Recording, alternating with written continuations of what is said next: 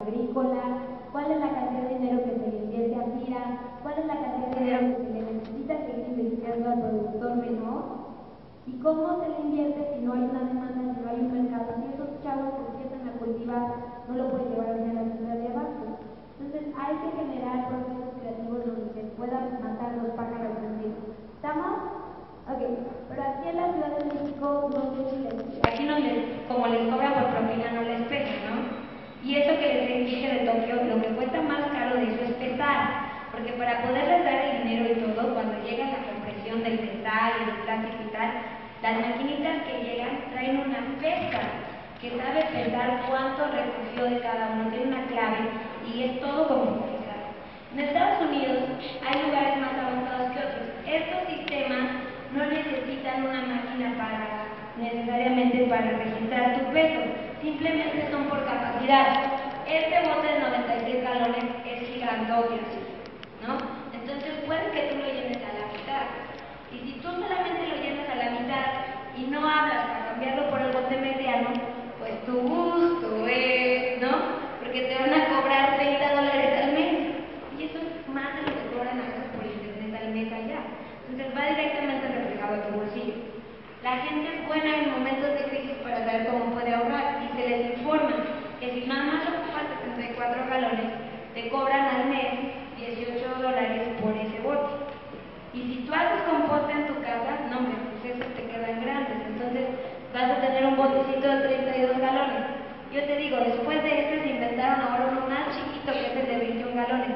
En nuestro humilde hogar, que tenemos el de 21 galones, que solamente le pudieron bajar la tarifa de 13.50 creo que es a 12.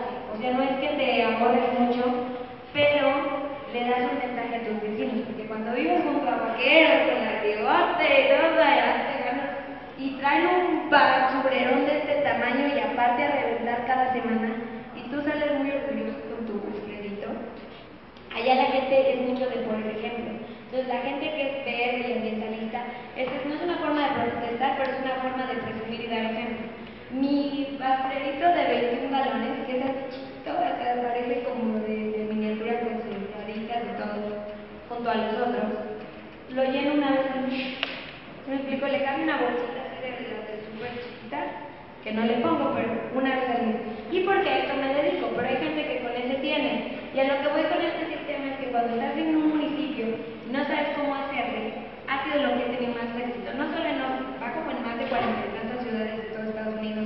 Porque esto le puede decir al municipio, ok, por ejemplo en Austin, son 180 mil residencias que son casas, que esto no sirve para los multifamiliares, pero es un sistema para las casas.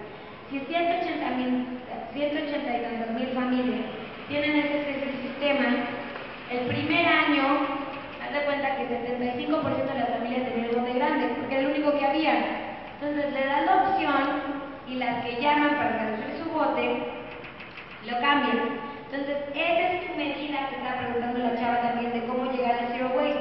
Porque entonces tú dices, en el 2011 tengo 75% de mi población, ¿no? 120 y tantos mil que tienen este bote.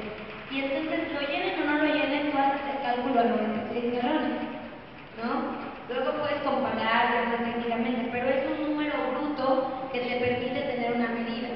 Claro que entonces, ¿qué quiere mi alcalde? Y bueno, el alcalde de allá, ¿y qué quieren todos? Reducir los botes. Pero se están dando un tiro en la sien al hacer esto, porque están lo mismo que los del Departamento de Energía. Austin es uno de los únicos eh, municipios en, en, Estados Unidos que el municipio es dueño de su planta de energía.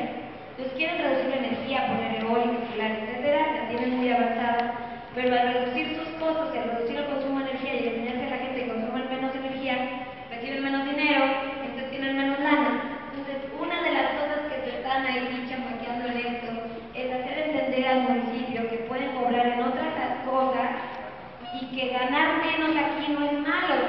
¿Sí me explico? Es un reto que enfrentan a nivel municipal.